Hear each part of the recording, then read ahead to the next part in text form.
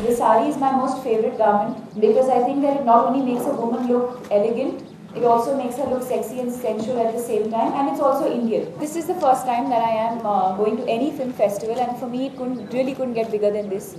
Uh, began with excitement, but now I'm, I'm beginning to get a little nervous. But I know it's going to go off well. It's going to be a lot of fun because at the end of the day, this is what I live for: cinema. It's it's my passion. It's what I love doing, and is what I live for. So to go out there to meet different people, uh, meet directors, watch different kinds of cinema from all over the world.